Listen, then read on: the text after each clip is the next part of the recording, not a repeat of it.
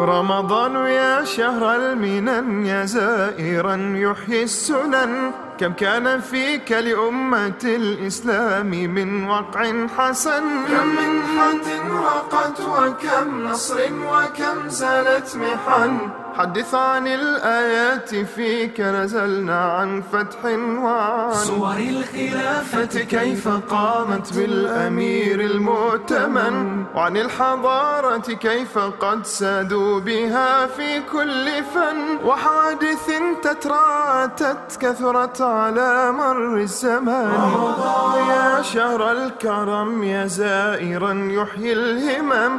تاريخ أمتنا المجيد لديك يحفل بالقمم. فسجلها بك حافل فتحا وذكرا كالعلم. كم من أمير صادق خاض المعارك واقتحم. كم قائد فتح الحصون وكنا كالجبل الأصم ذكر بالبعوث وكم بكشف فيك تم ذكر بأوقاف رعاها حاكم. حاكم حسن الشيام.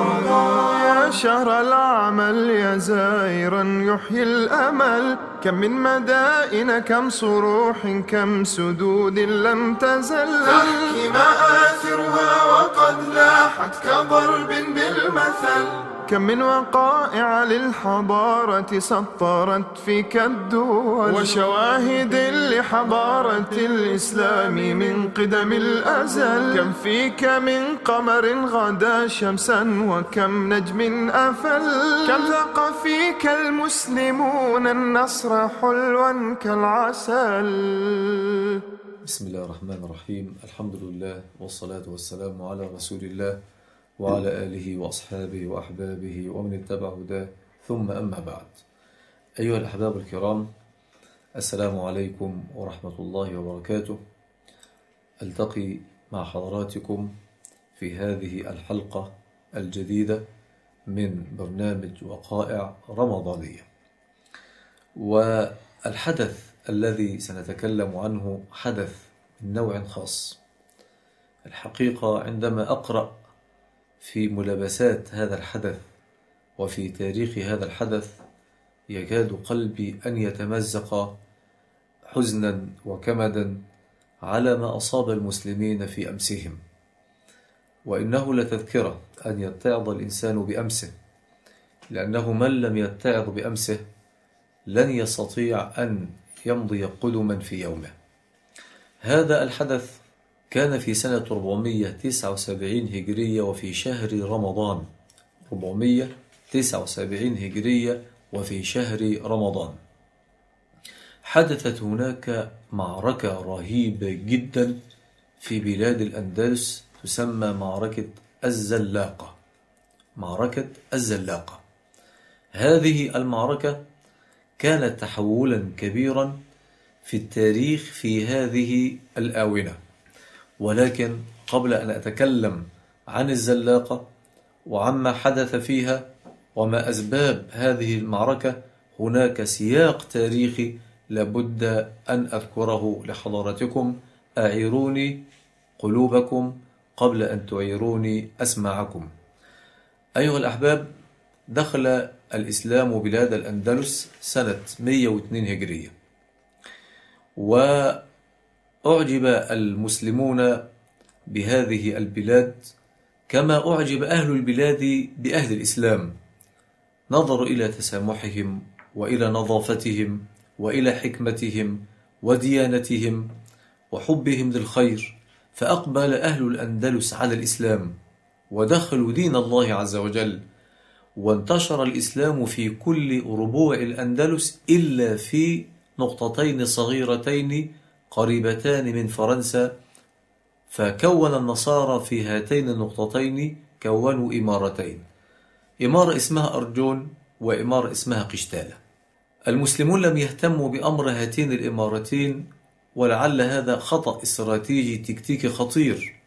إن المسلمين عبروا جبال البرانس وتوغلوا في داخل بلاد الغال مئات الكيلوات وتركوا الإمارتين الصغيرتين أرجون وقشتالة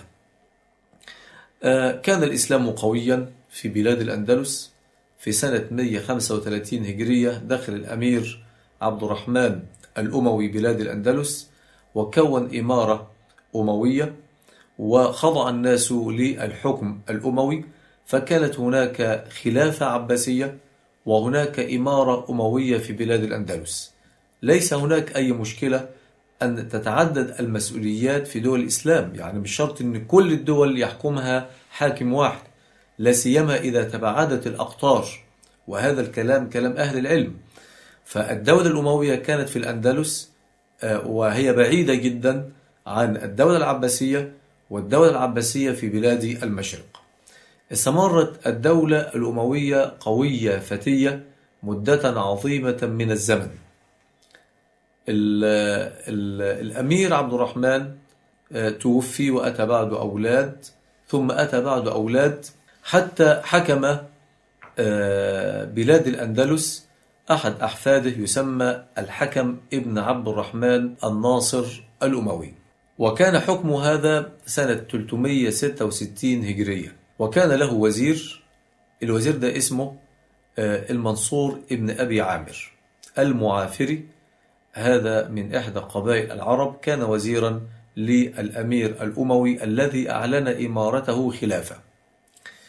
وكان المنصور ابن أبي عامر كان وزيرا قويا دينا جلدا اهتم بالدولة اهتم بحدودها وحافظ على أمنها وأحدث فيها طفرة كبيرة جدا طفرة حضارية كبيرة جدا اهتم بالطب واهتم بالصيدلة واهتم بالزراعة واهتم بشق الترع واهتم بالشوارع واهتم ببناء المدن. بالفعل الأندلس في أيام المنصور ابن أبي عامر عندما كان وزيرا كانت هناك طفرة عظيمة جدا. وفي الوقت نفسه كان قويا جلدا. فاستطاع أنه هو يقوم بأكثر من خمسين غزوة ضد الإفرنج. أكثر من خمسين غزوة ضد الإفرنج. وكان من شجاعته وهمته أنه لم يهزم في غزوة واحدة. في سنة 392 هجرية مات المنصور ابن أبي عامر. وخلفه ولدان ابن الأول مشى على حاله. ثم أتى الابن الثاني كان اسمه عبد الرحمن. وفي ذلك الوقت كان الخليفة الأموي يسمى هشام ابن الحكم. كان ولدا صغيرا. وكان المنصور يحجبه. يحجبه كان الحاجب بتاعه. والحقيقة إن الخليفة الأموي كان يعني ضعيفا ركيكا سيء الرأي. فالمنصور ابن أبي عامر حجب عليه فلم يخرجه ولم يجعل له قيمة. ولكن من حيث الشكل هناك خليفة وهو الوزير للخليفة. في عهد عبد الرحمن ابن المنصور ابن أبي عامر قال بدل ما يبقى فيه هناك خليفة لا قيمة له أنا أشتري الخلافة وأبقى أنا الإيه؟ الخليفة. وبالفعل اشتال المؤيد بالله اللي هو هشام ابن الحكم ونصب نفسه خليفة. أول ما عمل الكلام ده في هناك ناس يتعصبون للدولة الأموية ويحبون الدولة الأموية ويوالون الدولة الأموية انقلبوا عليه وتم قتل عبد الرحمن ابن المنصور ابن أبي عامر وكان الكلام ده سنة 399 هجرية. 399 هجرية. لما قتل عبد الرحمن ابن المنصور ابن أبي عامر سنة 399 هجرية تمزقت الأندلس. كل واحد فيه يعني يرى في نفسه قوة أو منعة أحاط المكان بتاعه وعمل جيش وعمل نفسه أمير لهذه المنطقة وهنا نشأت ما يسمى أو نشأ ما يسمى. هنا نشأ ما يسمى بعصر ملوك الطوائف. ملوك الطوائف. إن كل طائفة كل قبيلة كل جماعة عرقية اجتمعت مع بعضها وكونت إمارة لها وجعلت هناك أمير أو ملك على هذه الإمارة. الأمراء بتوع الأندلس أمراء الأندلس في ذلك الوقت ملوك الطوائف وأمراء الطوائف كثير منهم بدأ يتزوج بالنصرانيات أو الأميرات النصرانيات من ممالك النصارى من أرجون وقشتالة. خرجت بعد ذلك أجيال الجيل اللي بعد كده مباشرة. الجيل التالي مباشرة كان أخوالهم من النصارى.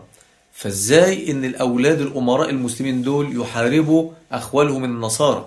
وبالتالي من سنة 430 هجريا لم يعد هناك أي عمل عسكري نهائيا في بلاد الأندلس. طيب لم يعد هناك أي عمل عسكري في بلاد الأندلس. بدأ أهل الأندلس يميلوا إلى ماذا؟ إلى إنشاء القصور إلى الإكثار من العبيد والجواري إلى التوسع في المآكل والمشارب إلى التوسع في طرائق جديدة من الحياة والمعيشة لدرجة إن بعضهم كان القصر بتاعه بيتنقل بين جنبات القصر بمركب. القصر بتاعه بتجري فيه الأنهار فكان بيتجول ويتريض في القصر بتاعه عن طريق المركب ده أحد الناس في هذا العصر. إذا نعيم كبير جدا وفخفخة ودنيا واتساع ومال وغنى. وفي الوقت نفسه قلت الديانة ورقت الديانة وبدأ اللسان العربي يضعف كثيرا وتسرب اللسان الأسباني القديم القوط الجرماني إلى اللسان العربي. وضاع الجهاد. ما عادش فيه جهاد خلاص.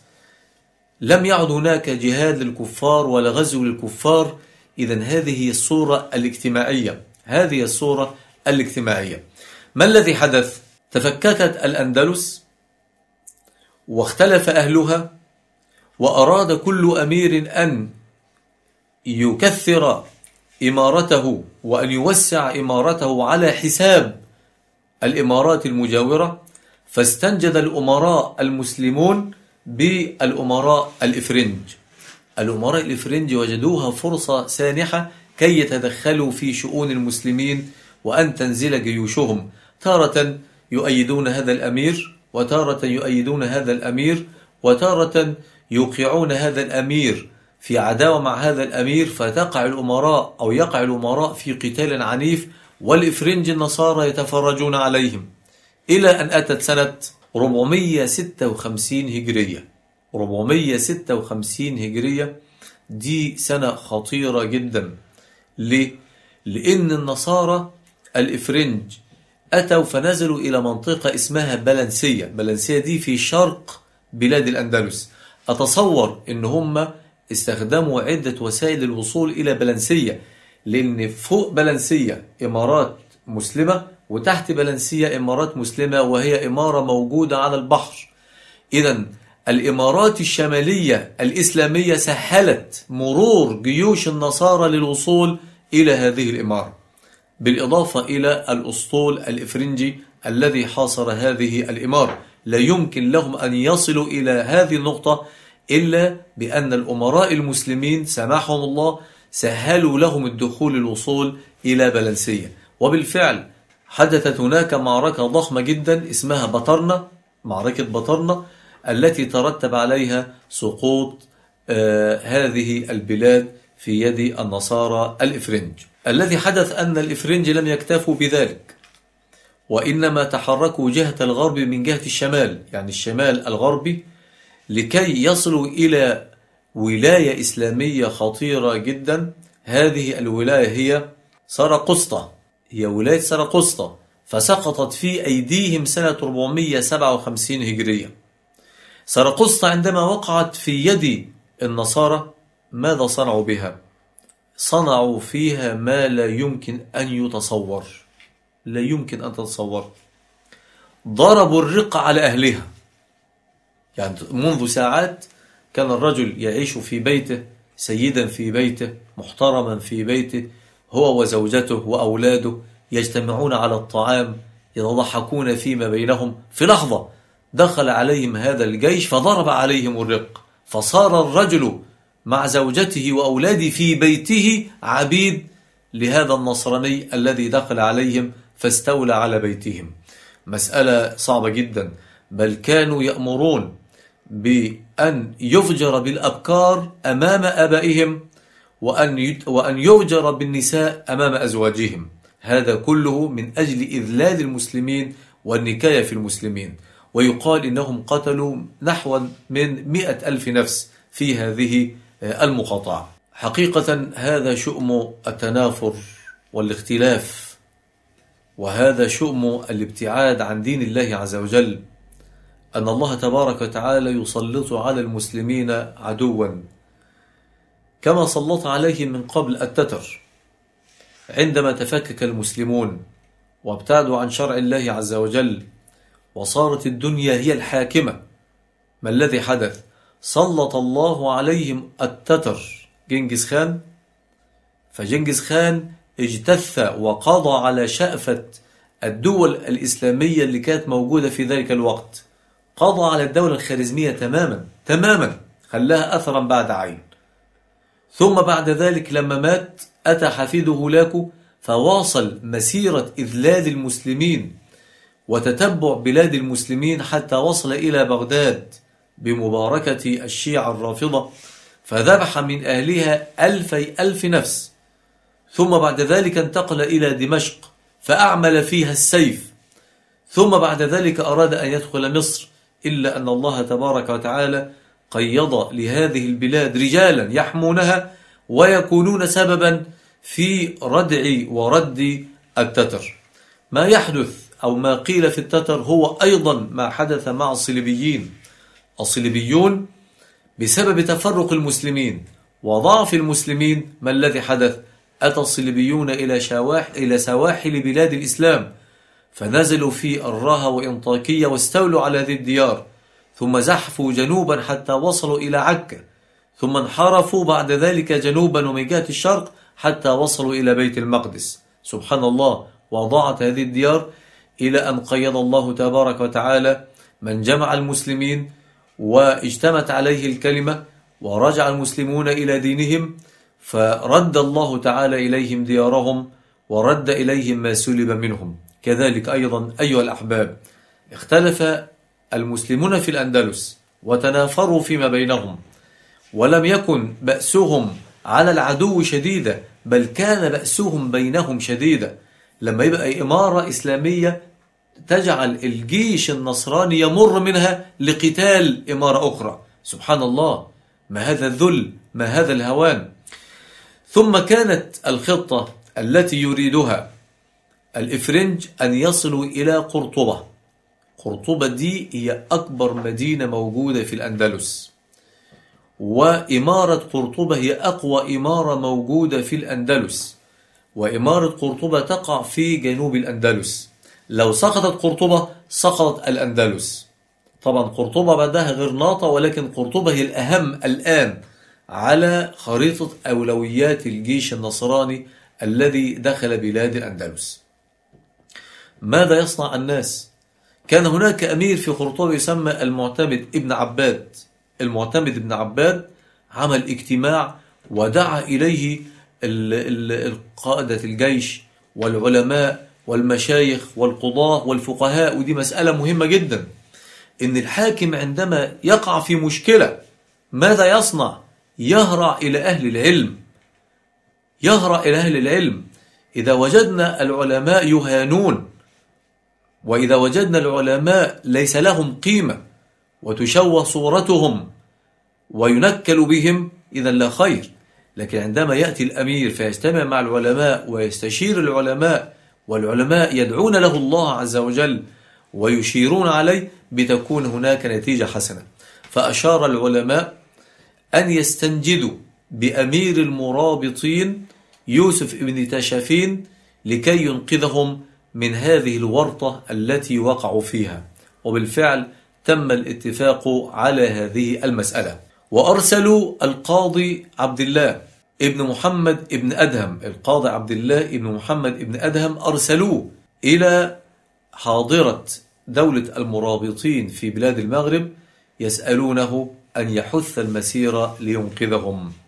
ما علاقة ذلك بغزوة الزلاقة أو بمعركة الزلاقة التي حدثت في رمضان وما الذي تم بعد ذلك. هل استجاب الملك المرابطي وهل خف لإنقاذ المسلمين أم تباطأ في ذلك؟ هذا ما سنعرفه بإذن الله تعالى في الحلقة القادمة ولا بد أن نعرف تفاصيل ذلك. فتابعونا يرحمكم الله. نسأل الله تبارك وتعالى أن يغفر لنا وللمسلمين جميعا وأن يتقبل منا الصيام والقيام وصلى الله وسلم وبارك على نبي محمد وعلى آله وصحبه وسلم.